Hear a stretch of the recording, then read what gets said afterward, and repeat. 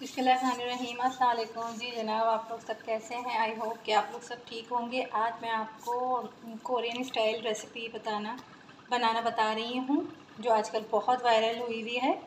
इसके लिए मैंने दो मैगी के पैकेट लिए हैं नूडल्स के। चिली फ्लेक्स लिए हैं।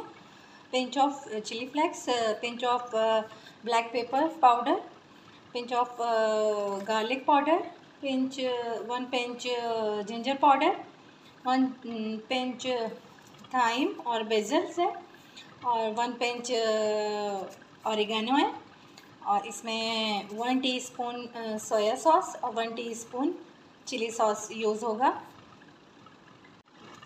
सबसे पहले मैं मैगी नूडल्स बॉईल कर लूँगी।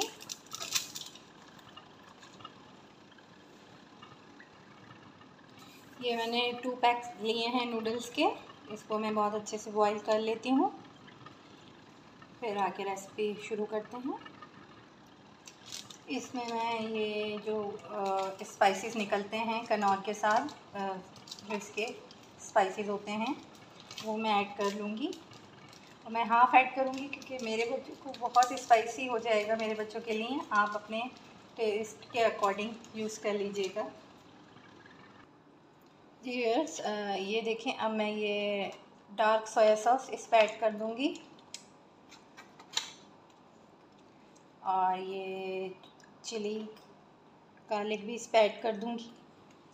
और इसको बहुत अच्छे मिक्स कर लूँगी। सारे स्पाइसेस को भी बहुत अच्छे से मिक्स कर लूँगी इसमें।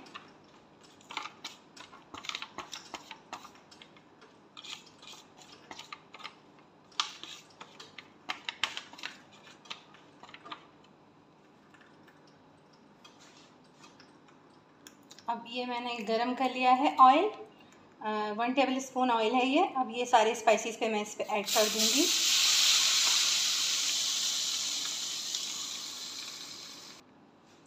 इसको जल्दी जल्दी मिक्स करेंगे। ये देखें कितना अच्छा स्पाइसी सा एक मिक्सचर रेडी हो चुका है। अब इसमें हम नूडल्स को फोल्ड करेंगे। ये देखें अब इस सारे नूडल्स हम इसमें फोल्ड कर लेंगे। अच्छे से मिक्स कर लेती हूँ फिर आपसे मिलती हूँ।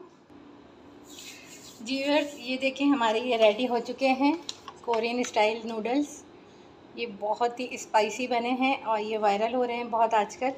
तो ट्राई करें आप। आ, ये बहुत ही मैंने ट्राई किए हैं बहुत ही यमी हैं थोड़े स्पाइसी हैं। पर बहुत ही यमी है। ये देखें कितने अच्छे बने हैं ये। आप भी ट्राई करें। आ,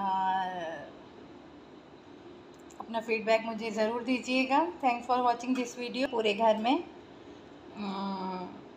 आ रही है। बहुत ही टेस्टी बने हैं। Thanks for watching this video